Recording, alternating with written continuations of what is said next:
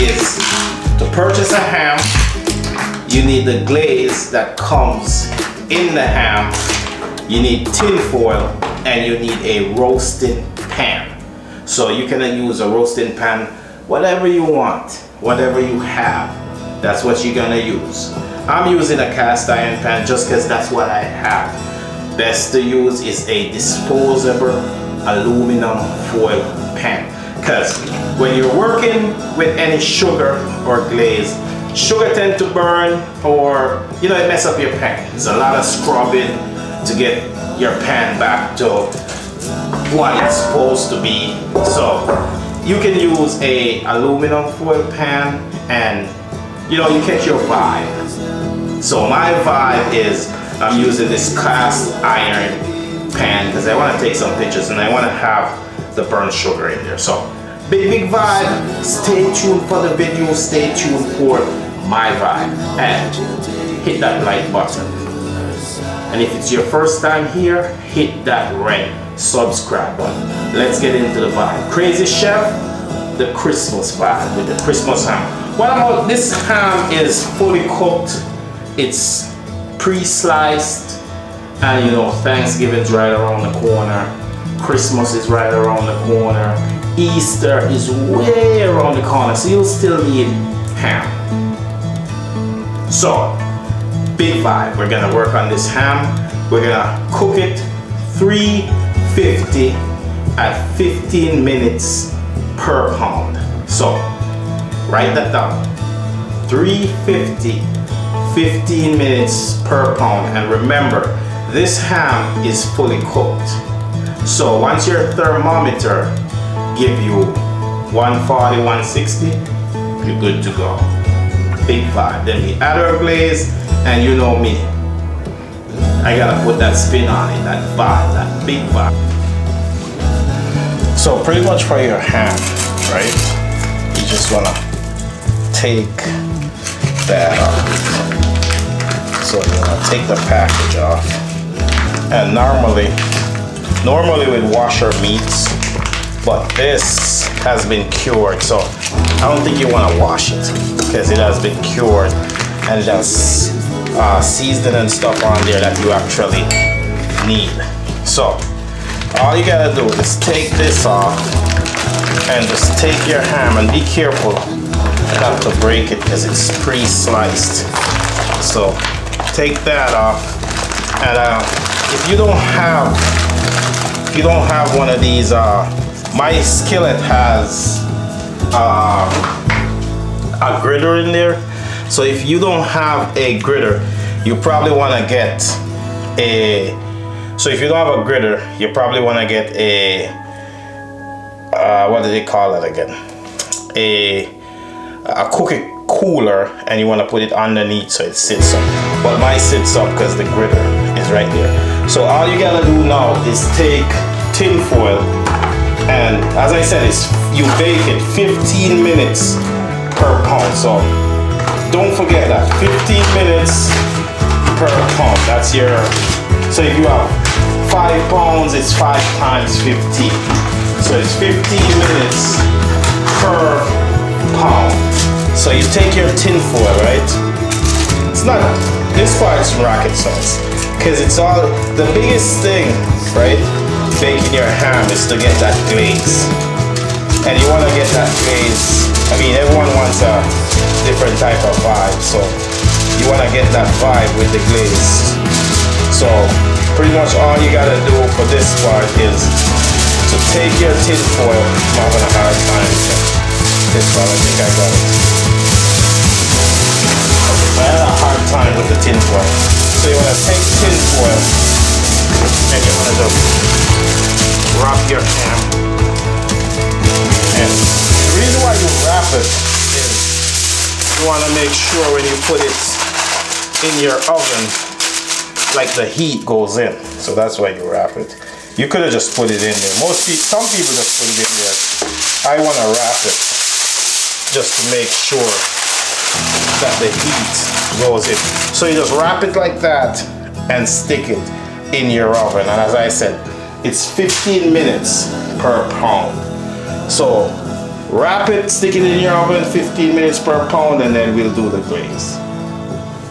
So for the glaze you want to keep it as simple as, as possible. So this is a right here it says brown sugar flavored ham glaze right? But you never want to just stick to the regular vibe. You always want to as they say soup it up right so we take that and we dump it out get it all out there as I said it's kind of sticky so you gotta watch those hands right then you take a little allspice put a little allspice in let me take this glove off because I'm done sticking it up. I'm gonna add some more brown sugar, right? Because as I said, you never wanna just keep that regular simple vibe. And some cinnamon. So allspice, cinnamon, some brown sugar. And you know I'm a island boy, so I'm gonna add some pimento seed and a little bit of jerk spice. And then I'm gonna put that right on my stove. So that's all that is is that jerk spice 5 so I'm gonna put that on my stove and I'll show you what it looks like so that's our glaze as I said I'm an island boy so I have to give it a little vibe a little island vibe. So we're gonna turn this off because we don't want it to burn its sugar. So we just shut our flame off. So as I said it's 15 minutes per pump and halfway along my journey that's what my ham looked like that's the top of my ham. So what I'm gonna do is I'm gonna take this pineapple right I'm gonna chop them in two and I'm gonna make slices. So I'm gonna take slices of pineapple and I'm gonna stick it right in there just like that. So as I said, I'm gonna slice my pineapple.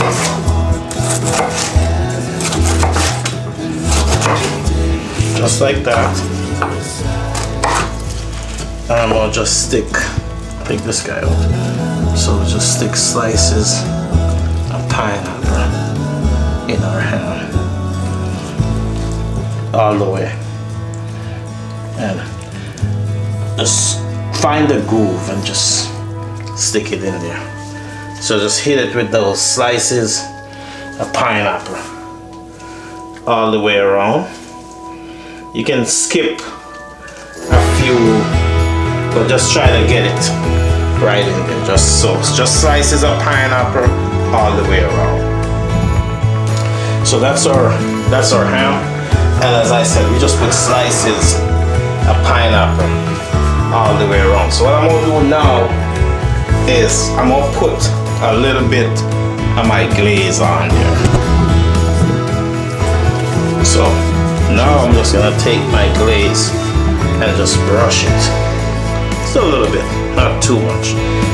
So you brush the, the pineapple, the ham, and you just, pretty much you're just painting it on just to get that first vibe so just for a first vibe, just to start getting your your ham uh, caramelized and stuff, you know, we're gonna put a little bit of glaze right on there, and you know, get some right there.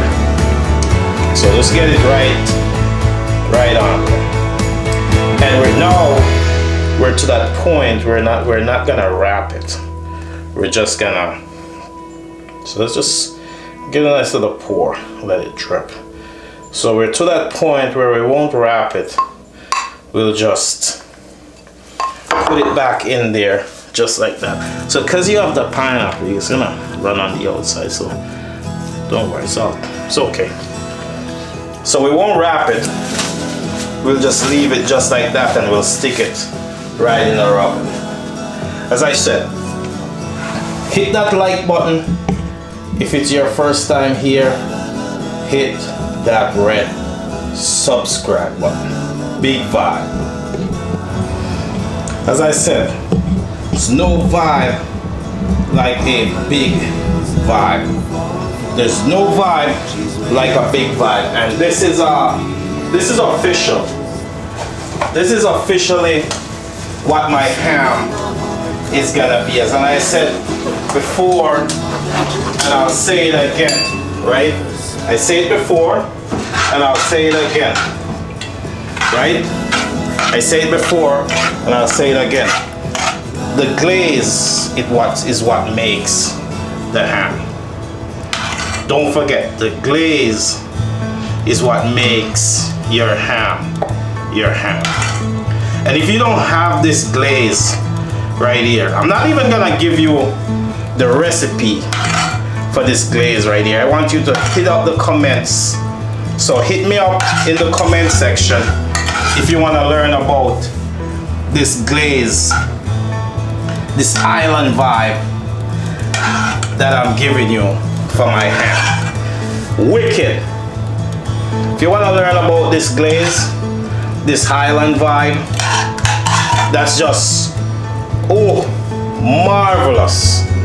Marvelous. Like you, you haven't tasted anything like this. You haven't tasted anything like this island vibe that I give you right here.